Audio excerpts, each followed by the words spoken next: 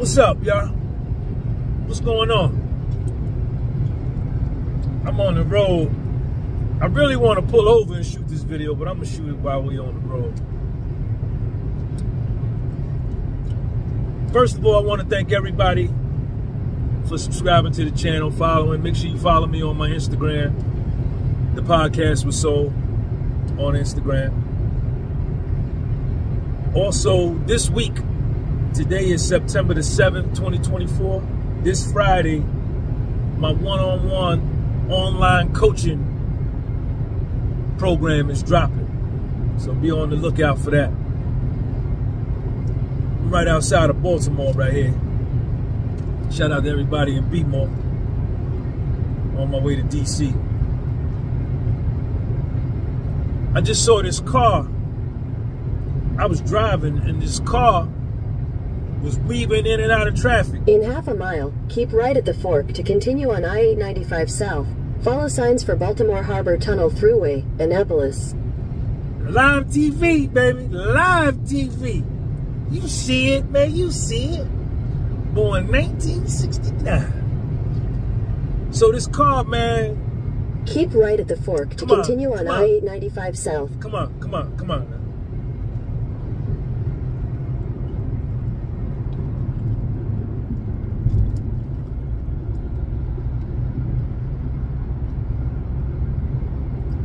All right, I want to go this way. I'm gonna go this way. Um. So this car, one of them Chargers, is weaving in and out of traffic just now, just now, just now. This nigga weaving in and out of traffic doing, I don't know how fast he was going, but he was dipping because I'm doing like 80 something. He was dipping, he blew by me. Sure enough, about two minutes, three minutes later, he flipped the car over on the side of the shoulder of I-95. This is where I'm at. He had to climb out of the passenger door. The car was on his side like this, standing up like this. He climbed out and he was fine. I said, man, you lucky to be. I pulled over. A bunch of people pulled over to check on him, see how he was doing. He was all right. I said, man, you lucky to be alive. He looking to my, yo, how my lip? I said, man, your lip, nigga, you lucky to be alive. I think he was like a Spanish or Indian kid, like India or Pakistani or something like that. Could have been Spanish too. So, but anyway, man, my greatest accomplishment so far in my life has been raising my son, man. From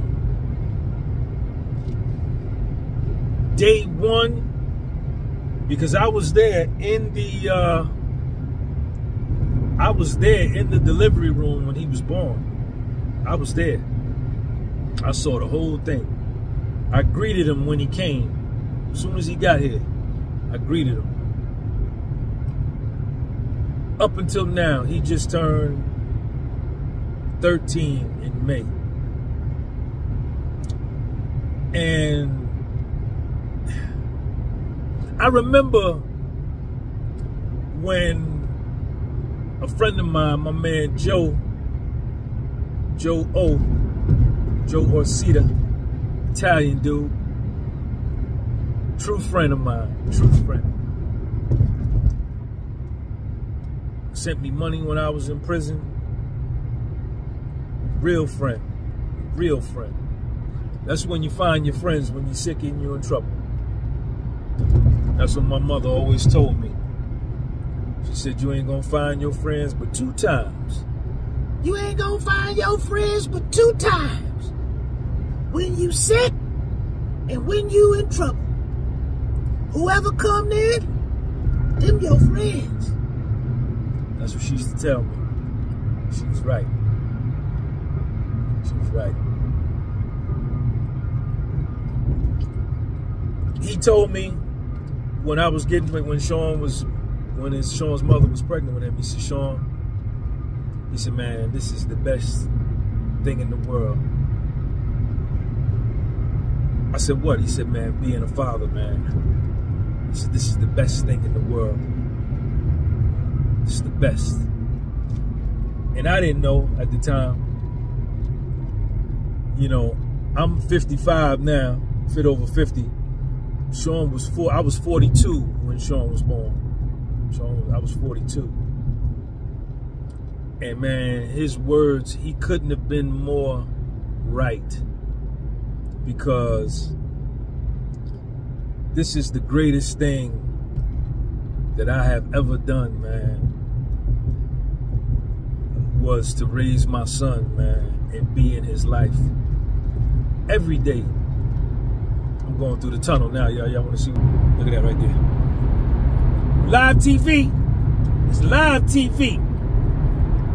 Eh eh eh eh eh eh eh eh eh eh.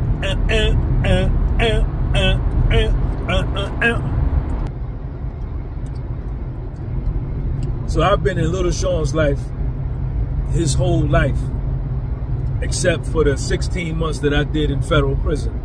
That was the only time I was away from him. And when I got out, I got right back in his life. I jumped right back in. I didn't waste no time.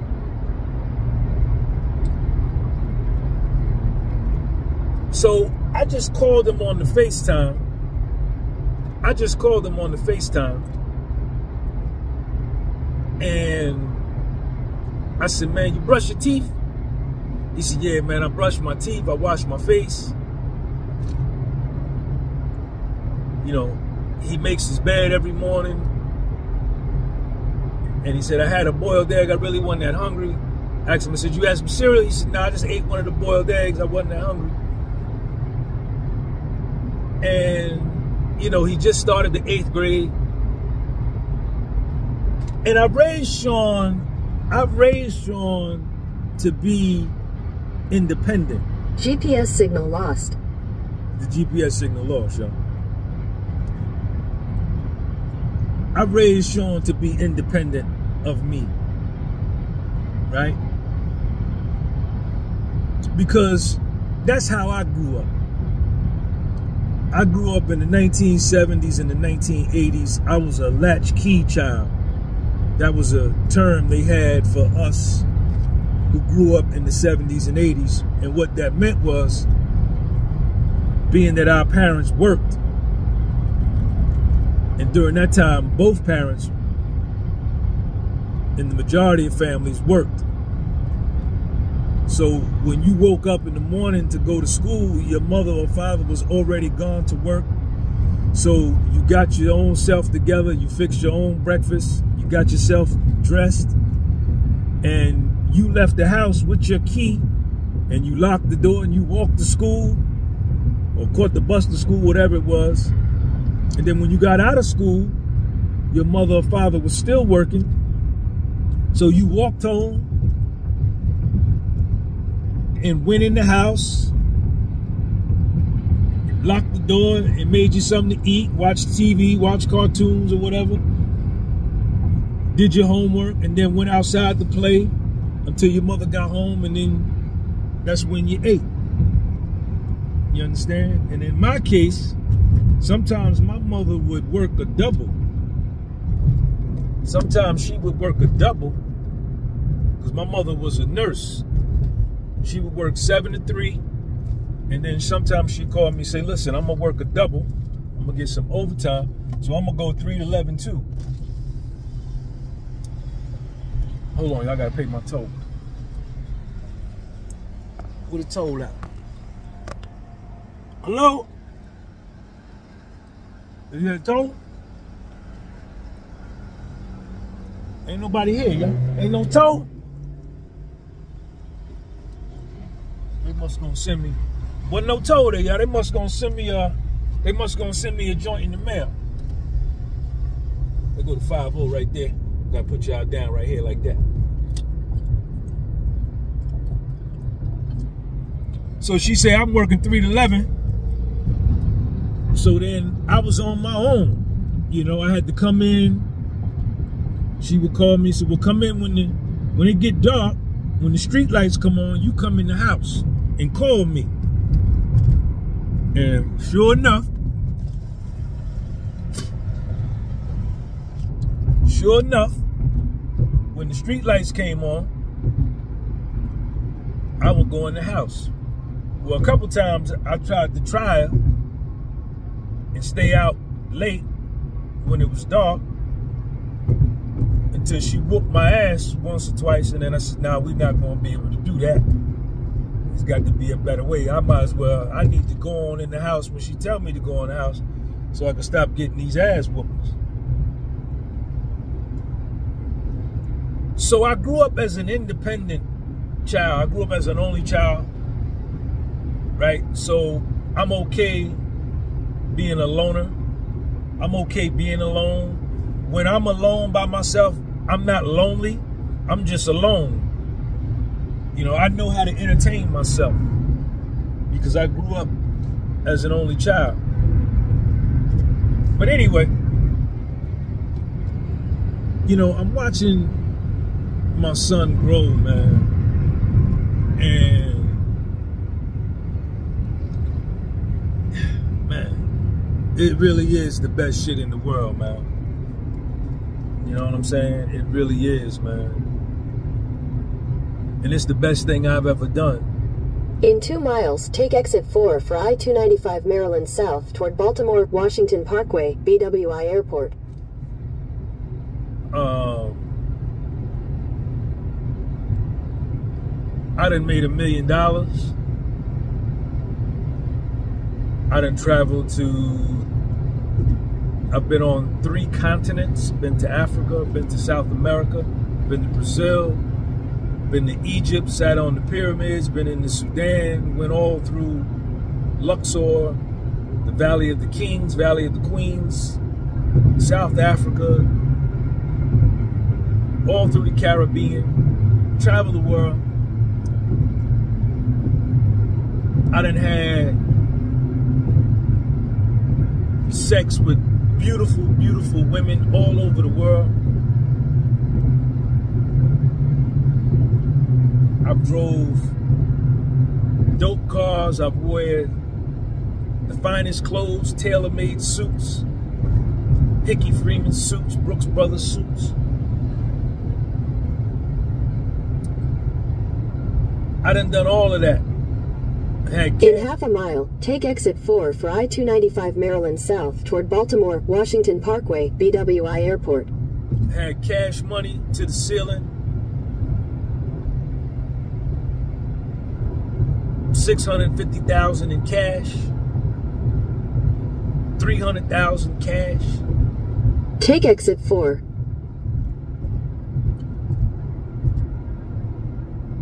But none of that compares to Continue for 32 miles. none of that compares to my son, man.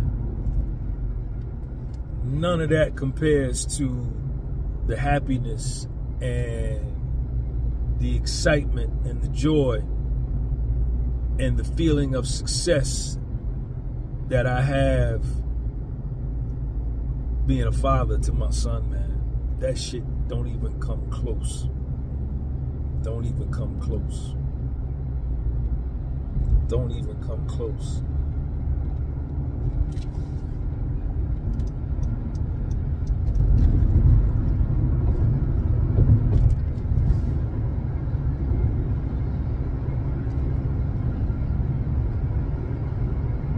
Because I'm watching him grow up right before my eyes. Right before my eyes. He's all he's almost as tall as me you know, he's in the eighth grade. He's starting to speak up for himself. He's starting to have his own opinions. I remember when I, I remember, man, the first time he might have been a week old or two weeks old. And I went by his mother to pick him up to bring him to my house in Jersey City, New Jersey, by myself. I had never cared for a human being that was two weeks old. And he was my first child. He's my only child that I know of. That I know of.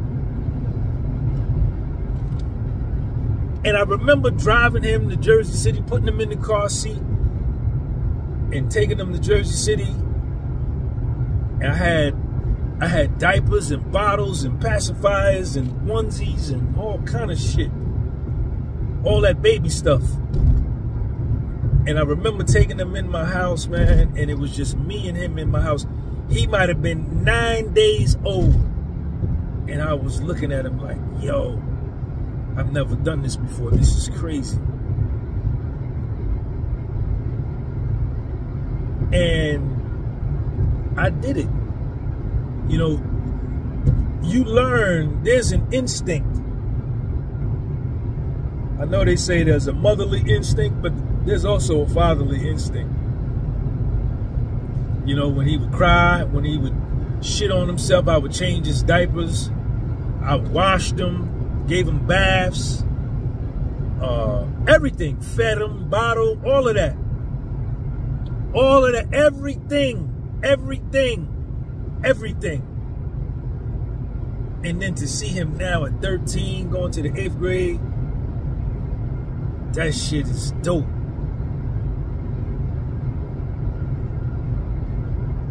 Dope. Because I can see my tangible success, right? Which way am I going, y'all? 695. I can see my tangible success. I can touch it. I go home, he give me a hug. He tell me, Dad, I love you. You know what I'm saying? He, he, I know he got my back. He loves me unconditionally. Best shit in the world, man. Word is born, man. It's tangible. I can see my success. He is my success. Right? And he's my greatest accomplishment, man. My greatest accomplishment, man. My greatest accomplishment, hands down. Nothing, nothing comes close. Come on, man. What is this guy doing, man? What you doing, man?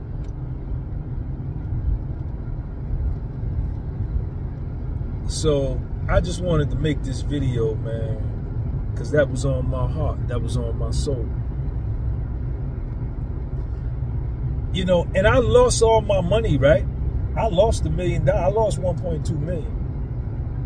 Right? I lost all my money when he was born from all the pressure from my Fed case, I made some horrible decisions and blew all my money, right? But in a way, I'm gonna get it back though. That ain't no thing. Once you've been a millionaire one time, you know you could do it again, right? Once you had a lot of money one time, you know you could do it again. Like I ain't no doubt in my mind that I could do it again.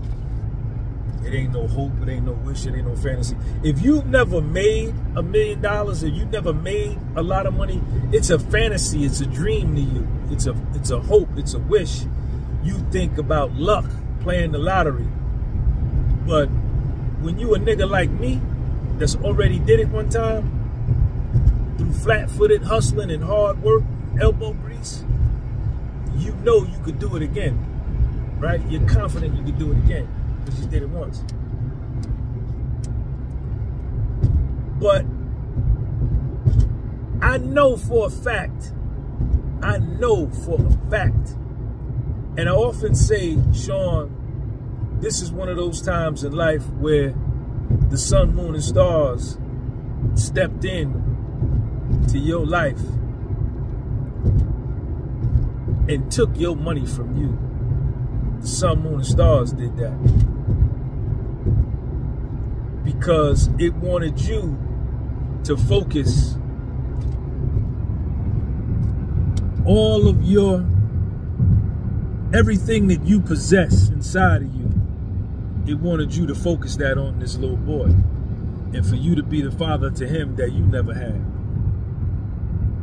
and in order for me to do that he had to take the money away he had to because when I was a millionaire I was wild that money made me reckless and it made me careless. The more I got, the more reckless I became. Come on now. Let's go. Let's go. Um, you know, I was when I had all that money, man. I was dealing with like about six or seven women, eight women at one time.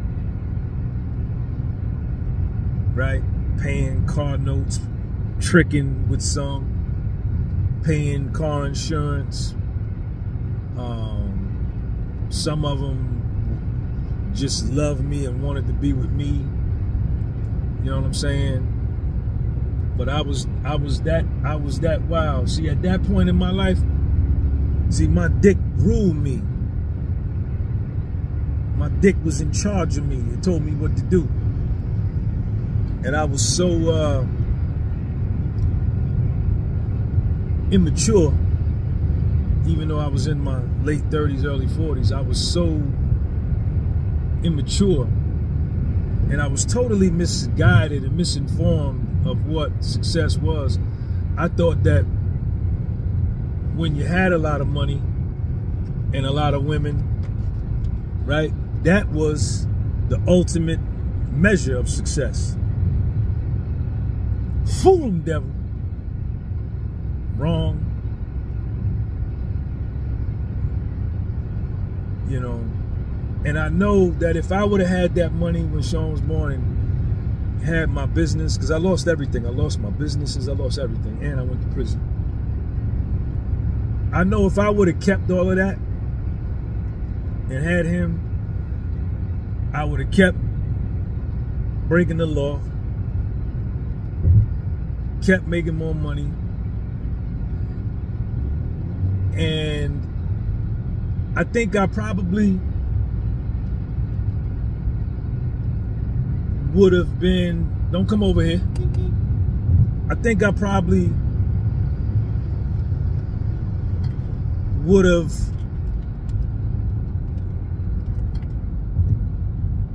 still been messing around with a lot of women, right? And I wouldn't have put in the quality time that I put in, that I have put in him, that I have put in with him over the last 13 years, right? That I was broke, right? Because when I got out of prison, I was dead broke still broke now. You know, I would have most likely just been buying them sneakers, clothes, bikes, toys, and thinking that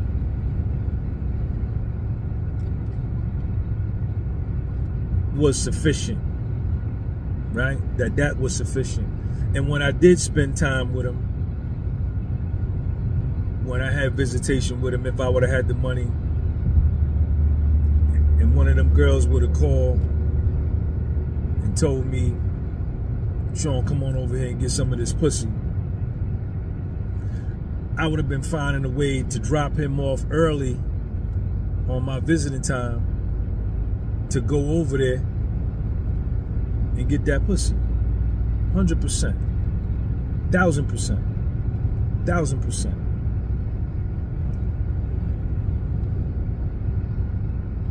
Because I told you my dick ruled me. And I wouldn't have I wouldn't have been the same father, man.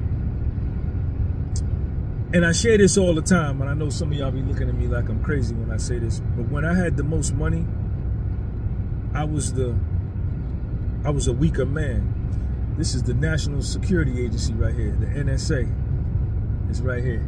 Look at that. Washington, D.C. Um,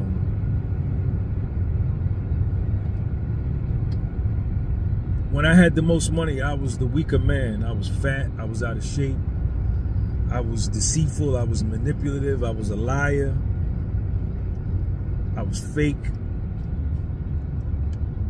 Um, I bought situations. I bought people because my money could. That's how I used to live. That's a true story. This is a true story. What I'm telling you, this is a true story. Bought people.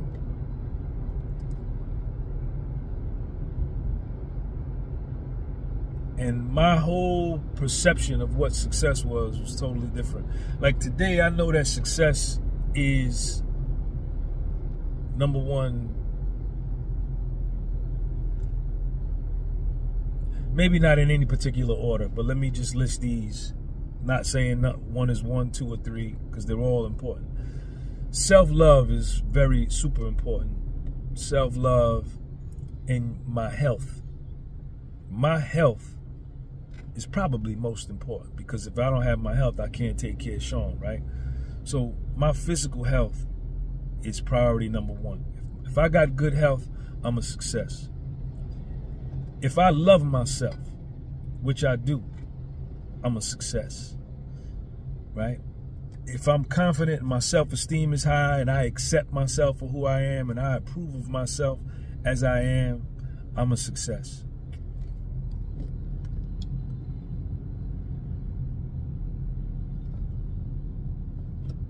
That's success.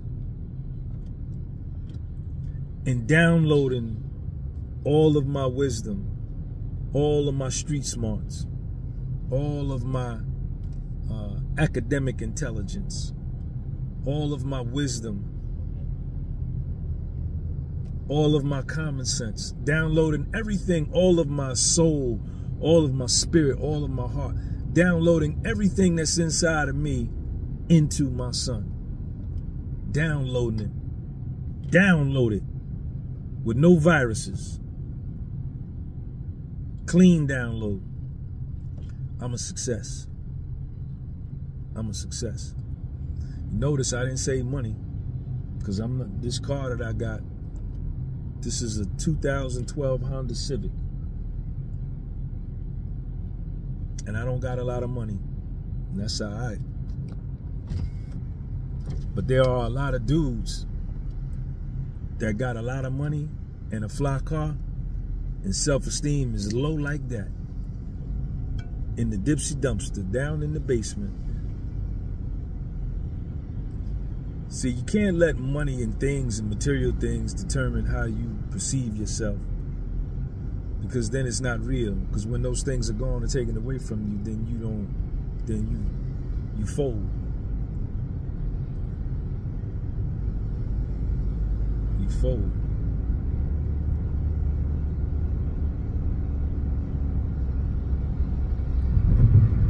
So, this is my greatest accomplishment, man. My greatest accomplishment is raising my son his whole life. And if I had a daughter, if I had a daughter, Cause Sean loved me, but the way them girls love their fathers, man, is ridiculous. I would love that. You never know, maybe one day I may have one. Any young girls out there want to have a baby with me?